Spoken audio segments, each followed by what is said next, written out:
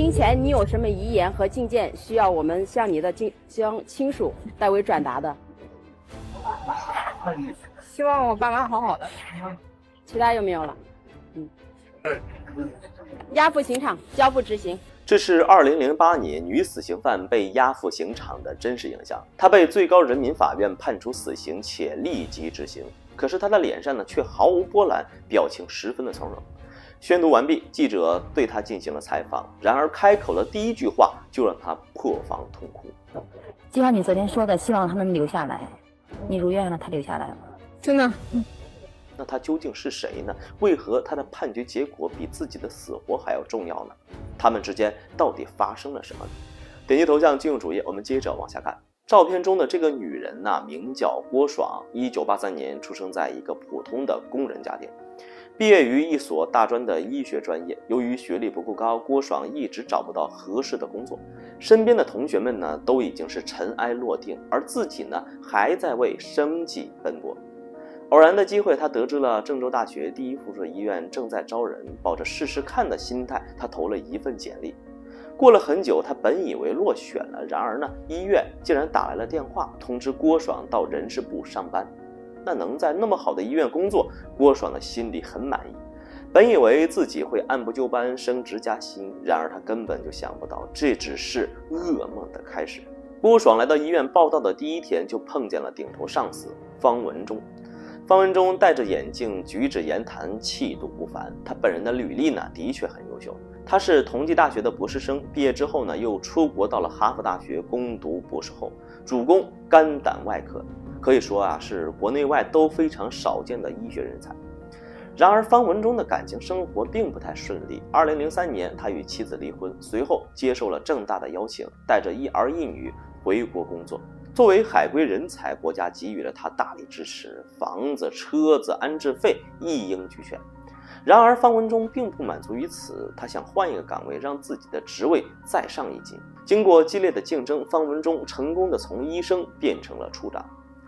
郭爽来到医院之后，仅三个月，方文忠就把他安排为处长助理。可郭爽没有想到，以为是领导认可了自己的能力，所以呢，才提拔他。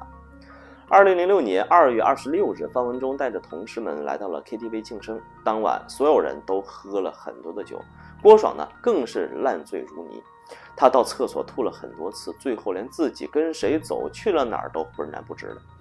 第二天一早，郭爽醒了过来，发现自己竟然一丝不挂。他慢慢的回忆起昨晚是方文忠带他回的家，路上呢，他还说了很多露骨的话。再联想到自己工作三个月就被提拔，郭爽也明白了方文忠的心思。他的心中十分的委屈，但是因为舍不来这来之不易的工作，所以在方文忠打电话要他晚上去他家一趟时，郭爽并没有拒绝。两个人呢就这样开始了不正当的关系。方文忠经常会给他打钱弥补，也承诺会给他一个医院的正式编制。郭爽最终沦陷在了权力之中，然而他根本就不知道这一切都只是方文忠的谎言，自己呢不过是一个玩物而已。郭爽最后为何会对方文忠痛下杀手呢？他那么希望能活下来的他，是怎样卷入这场纷争之中的呢？由于时长的关系，我们在下一集揭晓答案。点击我的头像进入主页观看下集精彩内容。行前你有什么遗言和进谏需要我们向你的亲将亲属代为转达的？希望我爸妈好好的。其他有没有了？嗯。押赴刑场，交付执行。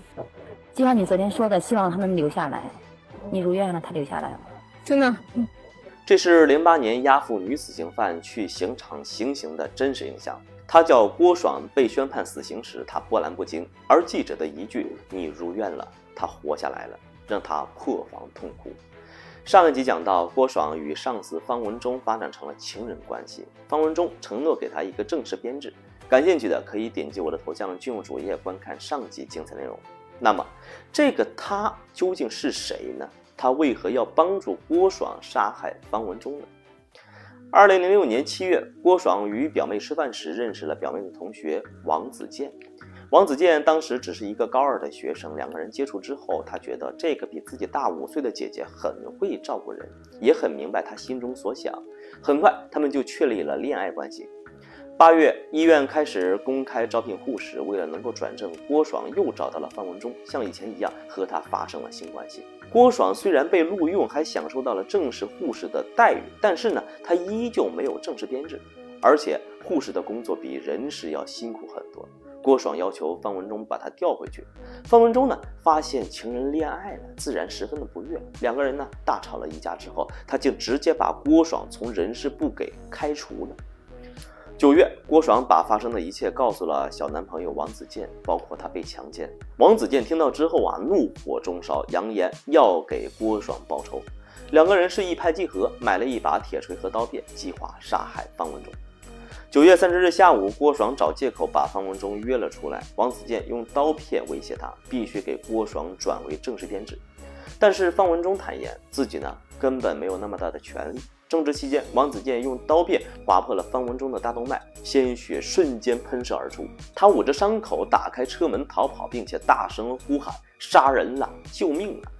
王子健立马跟了上去，用铁锤了结了他的生命。